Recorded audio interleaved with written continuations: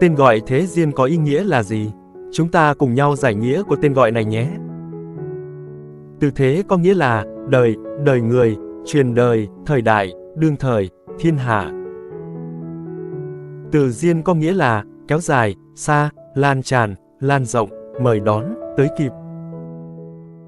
Thế diên có nghĩa là kéo dài thời đại, lan rộng trong đương thời. Tên Thế Diên mang hàm ý rằng, cuộc đời của người mang tên có sự thăng trầm tương ứng với chính thời đại mà người đó đã sống. Sẽ là người lan rộng chính câu chuyện, sự kiện trong cuộc đời của bản thân cho những người xung quanh, để hậu thế mai sau còn nhiều người nhắc mãi. Trong lịch sử Việt Nam, Đỗ Thế Diên là người đỗ khoa thi thư vào năm 1185, đời vua Lý Cao Tông. Ông làm quan đến chức, đồng chi quảng từ cung kiêm phán phẩm hình viện dưới triều đại nhà Lý.